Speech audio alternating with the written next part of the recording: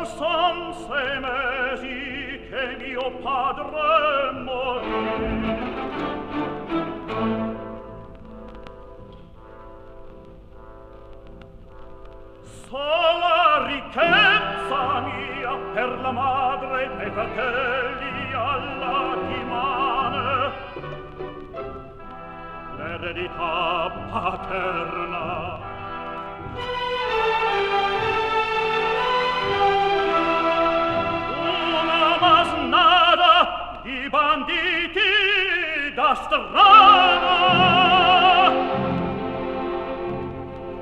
la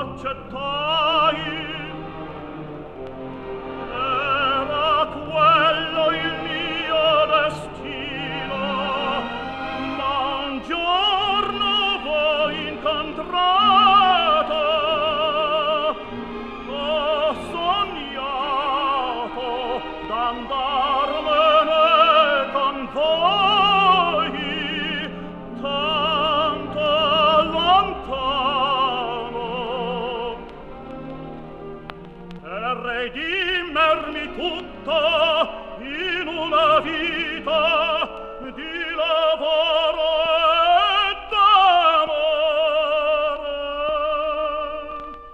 E il labbro mio mormorò un'ardente preghiera